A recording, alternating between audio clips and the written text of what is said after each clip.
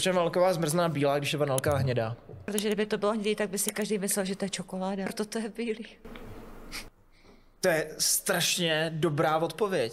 Jak daleko musíš jít na západ, než dojdeš na východ? NASA vynalezla bouřky, aby zakryla uh, vesmírní bitvy? Mít dobrý video a mít hodně velkou sledovanost a čísla. Mám si to pozrieť? Hvězdy vyrobily veškerý známý prvky ve vesmíru. Myslíš si, že v daleké budoucnosti budeme mít farmy hvězd a budou vyrábět sa pýta? Žijeme v simulaci? Ten život není jednoduchý. Hm, No právě, proč ta simulace není jako výrazně jednodušší? Že to by pak bylo jednoduchý úplně všechno. A nechceme to? No bylo by to lepší, jako kdo by to nechtěl. Kdo by to nechtěl? Právě, no. Já bych to určitě chtěl. Jako já si myslím, že plno lidí by to chtělo. Hm. Ne, ale většina. Nebo? No já si myslím, že ne úplně každý. Hm. I lidi, kteří mají rádi challenge třeba. Jsou takový Takový lidi. ty lidi, kteří třeba dělají 30 dní, dělám se dilehy. Že ty lidi jo, asi. Ty, co dělají se dilehy 30 dní, protože to je těžký. Je to hodně těžký, jako to dělat takhle dlouho. Připomíná mi to trošku život potom. Hm. Máš nějakou oblíbenou rasu, nebo si myslíš, že jsme si všichni rovní? Všichni jsme si rovní, jako Jo? nemělo by se soudit podle barvy pleti. Hm, hm. Jsou si muži a ženy rovní, nebo si myslíš, že by se ženy měly takzvaně pochlapit? Jako některý ženský by se mohli pochlapit, no. Tohle je finál odpověď. To ja by som rád vedel, kde v piči to som. A kdo ochrání umělou inteligenci teda ale? My jsme Nikdo. hrozba pro umělou inteligenci. Někdo to neochrání. Nevím. Hm.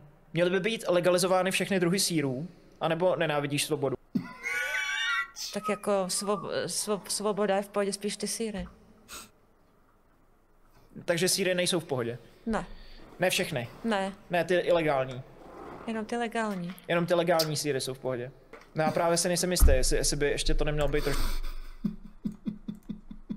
Jenom ty legální síry jsou v pohodě. Všechny. Prečo sa, Ne, ty nesmeje? Pr- ilegální. Jenom ty legální. Jenom ty legální síry jsou v pohodě. Myslíš si, že jsou ekologičtější Ona to dosť bere kovový, ale to musí nebo na schvál. Teda dúfam.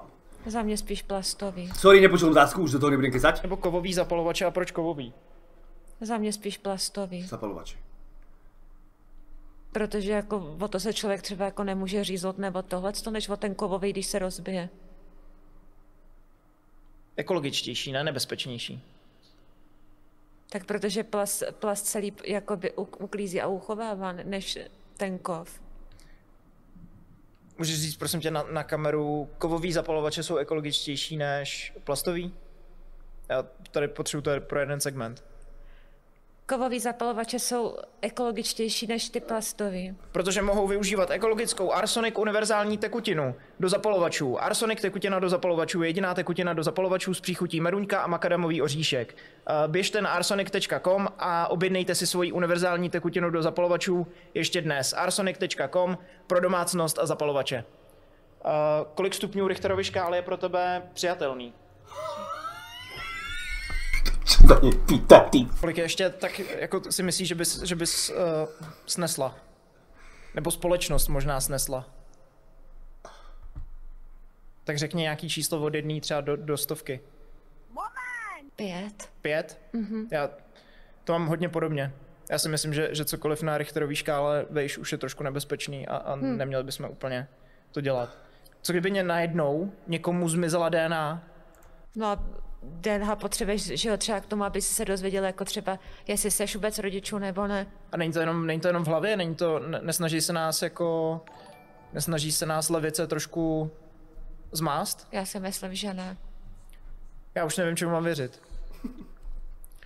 Když se řepkový olej vyrábí z řepky a slunečnicový ze slunečnic, z čeho se vyrábí dětský olej? Tak to vůbec nevím. To je... A myslím si, že by se to mělo trošku prošetřit, protože je to znepokojivý.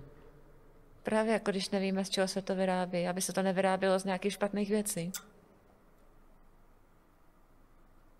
Třeba z dětí. Myslíš, že NASA vynalezla bouřky, aby zakryla uh, vesmírní bitvy? Já si myslím, že jo. Jo?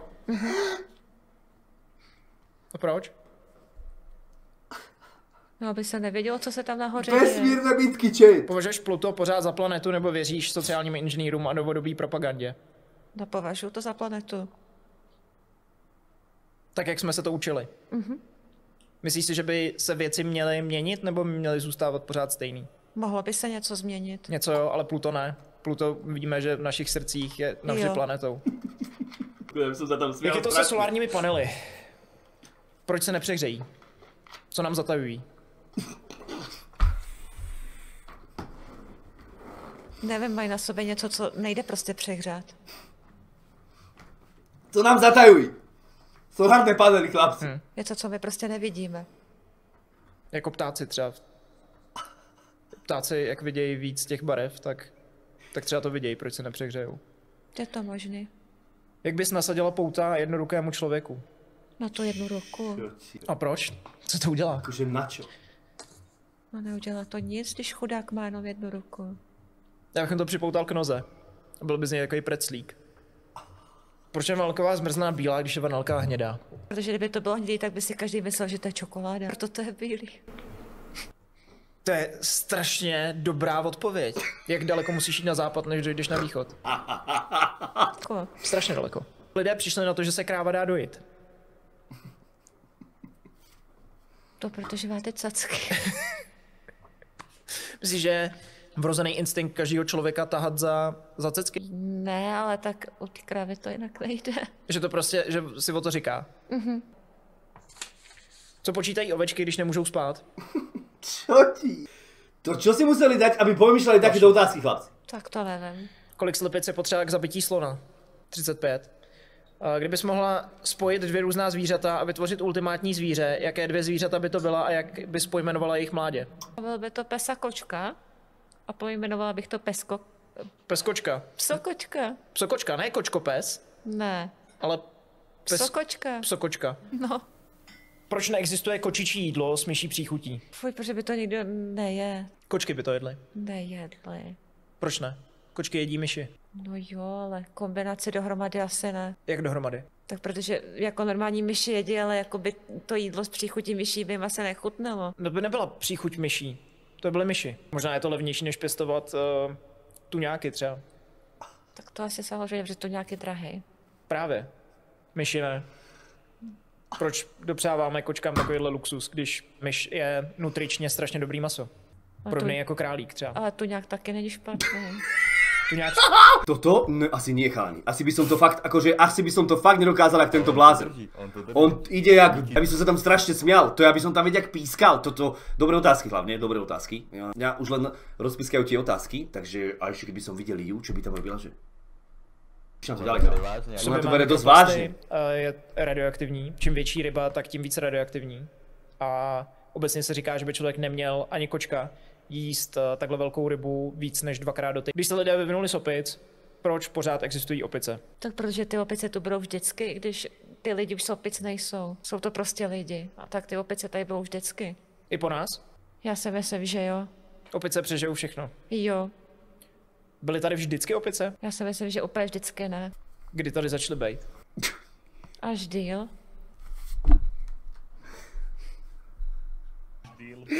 Kámo, Nebyly počuť, úplně od, od začátku opice. sa.